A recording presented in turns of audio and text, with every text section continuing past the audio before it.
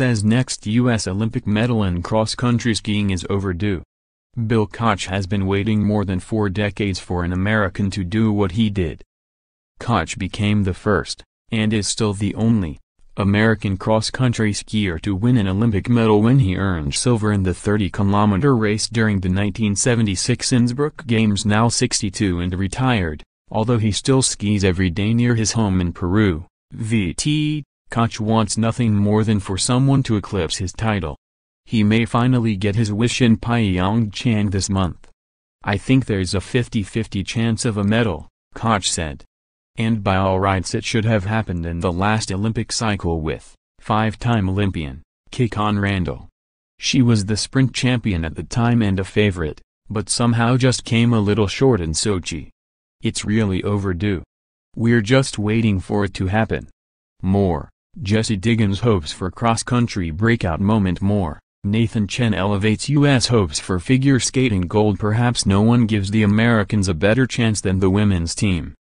Jessie Diggins, competing in her second games, is the United States' most decorated cross-country skier in World Championship history.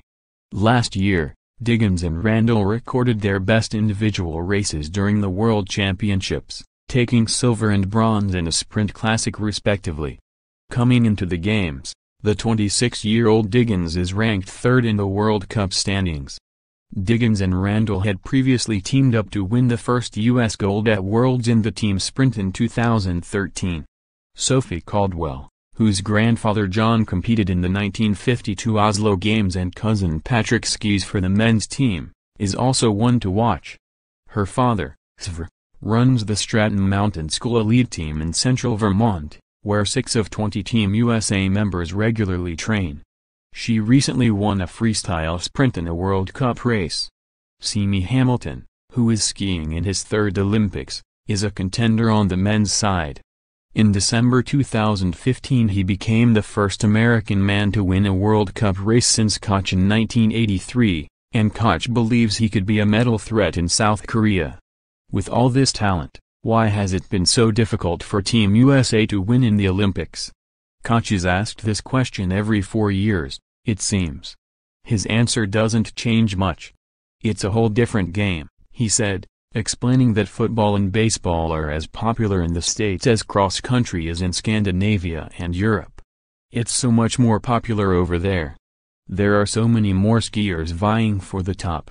The U.S. was far from dominant in 1976, but Koch felt he had a chance to medal heading into those games.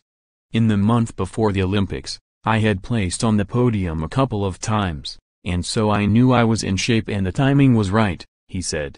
I also took a chance on going in on an early seed, and I was the top American. The rules at that time were that I got to choose which seed I wanted to go in and usually, top skiers, choose the last four, not the first.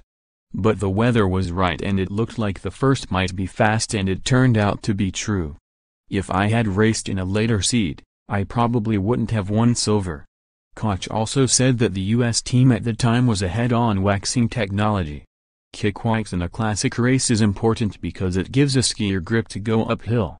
Back then, Koch said the Americans were the first to put alpine wax on their tips and tails and kick on the middle of their skis.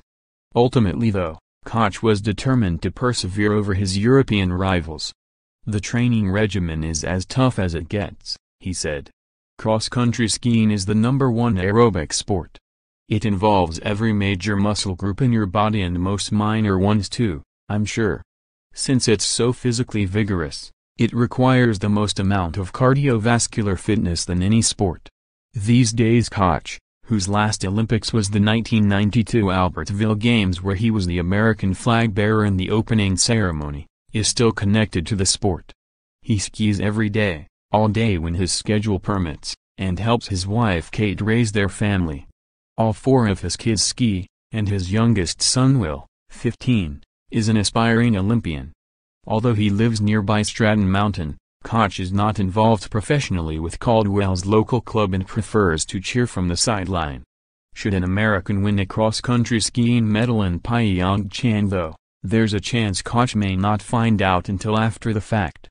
The Kochs don't have internet access or television. They're anxious for the results though. We're on pins and needles, he said. It's exciting.